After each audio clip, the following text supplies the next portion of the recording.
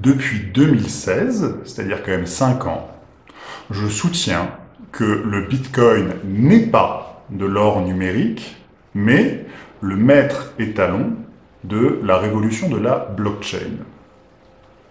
Depuis 2016, je soutiens que la blockchain est à l'image d'Internet. De la même manière qu'Internet a révolutionné les échanges d'informations, la blockchain révolutionne les échanges de valeurs. Depuis 2016, je soutiens également que une blockchain, et en particulier la blockchain du Bitcoin, obéit à la loi de Metcalfe ou à un effet réseau qui veut que la valeur d'un réseau augmente suivant le carré de son nombre de nœuds ou en nombre d'utilisateurs. Mais je préfère parler de nœuds, c'est plus précis et c'est plus vrai. Euh, c'est pas très beau ce que je viens de dire, bref. Euh, et ça, c'est mon cadre analytique de long terme euh, sur la blockchain d'abord et le Bitcoin en tant que maître étalon de la blockchain. Alors, si je l'ai conservé, euh, c'est pas parce que je suis buté, c'est parce que depuis 5 ans, ce cadre analytique euh, fonctionne. Il fonctionne de manière extrêmement efficace, et quand je dis qu'il fonctionne, hein, ça veut dire qu'il fait gagner de l'argent euh, à ceux qui investissent sur le Bitcoin et en blockchain en suivant ce cadre.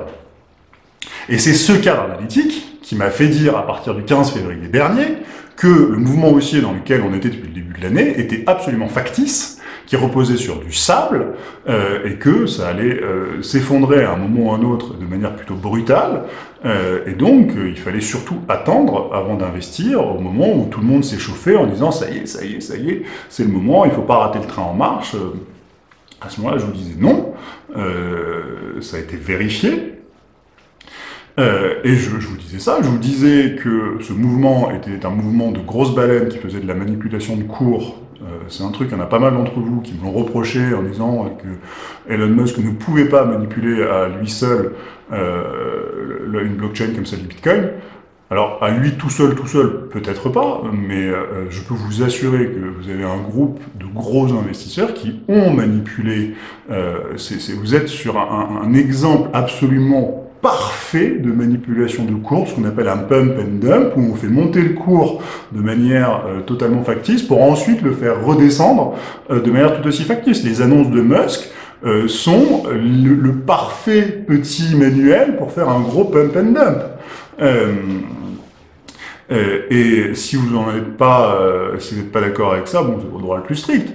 Maintenant, ce qu'il faut quand même voir, c'est que le, la blockchain du Bitcoin, si vous voulez, euh, les 100 plus gros portefeuilles, 100, hein, c'est pas beaucoup, euh, détiennent 15% euh, de tous les Bitcoins.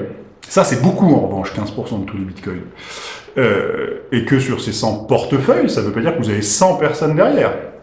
Vous en avez en fait probablement pas mal, beaucoup, vous en avez sans doute beaucoup moins, parce que vous avez plein de gens qui ont plusieurs portefeuilles, et quand vous regardez euh, les mouvements sur ces portefeuilles, parce que je vous rappelle que la blockchain du Bitcoin est publique, toutes les transactions entre euh, portefeuilles euh, sont, sont ouvertes, et vous pouvez les consulter.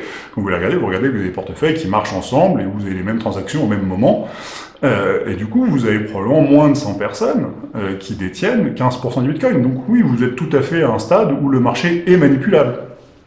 Donc c'est vrai, et donc vous ajoutez à ça la puissance médiatique euh, de, de, Musk et son usage de Twitter, qui est euh, quand même Twitter, c'est le euh, média favori pour faire des manipulations de cours. Hein. Ça c'est un truc. vous avez même des, des, études qui sont faites depuis longtemps maintenant hein, sur le, sur les, les, les, les rapports entre les mouvements boursiers et les publications sur Twitter.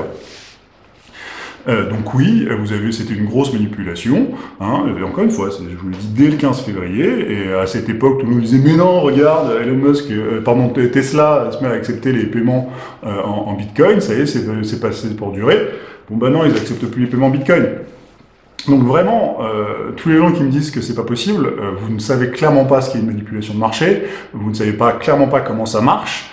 Euh, et vous, vous, avez jamais vu ça. Moi, j'en ai vu plein dans ma vie. Euh, on est en plein dedans. C'est-à-dire que c'est un truc, si vous voulez, pour moi, ce n'est même pas, il euh, n'y a même pas à discuter. C'est pas du tout spéculatif comme truc. C'est une énorme manipulation.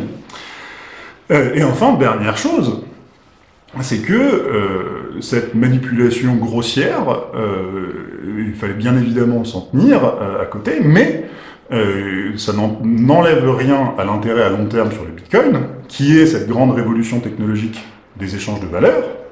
Et donc, une fois le coup de chaud passé, eh bien, il allait redevenir temps de nous positionner. Et j'ai donné à mes lecteurs une, une, recommandation d'achat par palier pour pouvoir euh, se positionner euh, sur cette consolidation à la baisse euh, du Bitcoin. et il se trouve que cette recommandation que j'ai faite le 28 février à mes lecteurs, avec mes paliers, que c'est exactement les paliers que suit le Bitcoin depuis sa chute. Et donc aujourd'hui, on est dans un moment où l'analyse fondamentale que je fais et l'analyse technique que nous faisons, parce que je ne suis pas tout seul à, faire cela, eh ben ça marche. Euh, ça marche dans le sens, euh, ça fait gagner de l'argent à ceux qui suivent ces recommandations. Euh, et ce qui est important, si vous voulez, c'est que comprenez bien que je suis un analyste qui fait des vidéos. C'est pas l'inverse. Je suis pas un youtubeur qui se met à faire des, pseudo-analyses sur le bitcoin parce que c'est à la mode et c'est funky et ce machin. Bitcoin, j'étais dessus en 2016 quand c'était pas du tout à la mode. Euh, et ça, c'est important parce que cette vidéo que je fais là, je la fais pas pour faire des vues, Hein, alors oui, je la monétise parce que de toute manière les conditions de YouTube ont changé euh, et que YouTube va se mettre à mettre des, publicités même si vous les monétisez pas, donc euh, tant qu'à faire autant prendre l'argent. mais c'est que je vais gagner 15 euros avec cette vidéo probablement, c'est ce que je gagne en moyenne. Je fais pas du tout ça pour ça. Moi, je fais ça pourquoi Moi, ce qui me fait gagner ma vie, c'est, euh, ce sont mes recommandations d'investissement, c'est ma lettre d'investissement que j'envoie euh, à mes abonnés. Et euh, s'ils sont contents, je gagne ma vie. S'ils sont pas contents, je gagne pas ma vie. Et, donc, c'est important, il me semble, de faire de, vous dire ça, parce que vous n'avez pas du tout travaillé de la même manière si votre objectif dans la vie est de faire un max de vues pour gagner euh, un max d'argent avec les pubs de YouTube, ou si au contraire vous faites vos vidéos pour derrière aider des investisseurs qui, bah, qui ne resteront pas fidèles si jamais vos recommandations d'investissement sont pourries. donc, si vous voulez, moi je, vous donne ce cadre analytique, notamment pour vous, montrer le sérieux du travail. Alors, je, suis souvent un peu agacé quand je suis comparé justement à des youtubeurs qui n'ont pas ce bagage que je prétends avoir. Mais bon, c'est pas très grave au fond.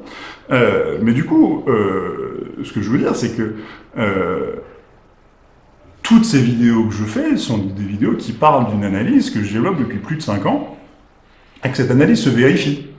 Que cette analyse se vérifie, et qu'elle se vérifie notamment, et ça c'est à mon avis le plus intéressant, elle se vérifie que au-delà de ce marché haussier euh, qui a mis un peu de chaos euh, et qui a embêté euh, quelques investisseurs, il y a un truc qui est intéressant, c'est que l'adoption du Bitcoin, cette fameuse loi de Metcalfe, qui me regarde le nombre d'utilisateurs ou de nœuds de réseau, ben, l'adoption continue de progresser, et ça continue de progresser de manière linéaire depuis au moins 2014.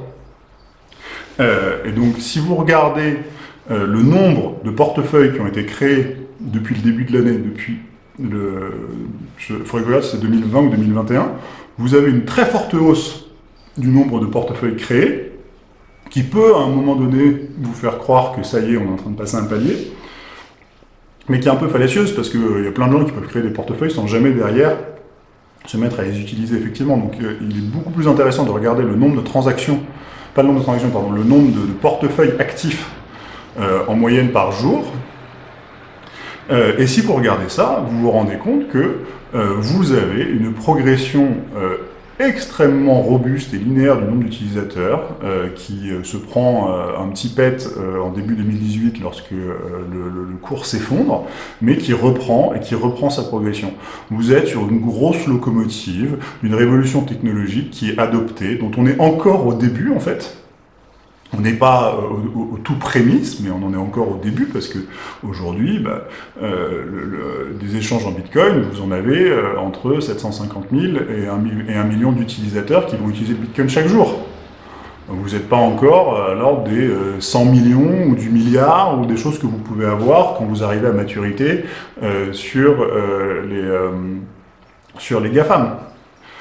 Donc, si vous voulez, on a encore beaucoup de potentiel à utiliser, mais tant qu'à faire, autant euh, construire ça euh, sur le temps long, paisiblement, euh, en, se réjouissant quand il y a à se réjouir, en étant prudent.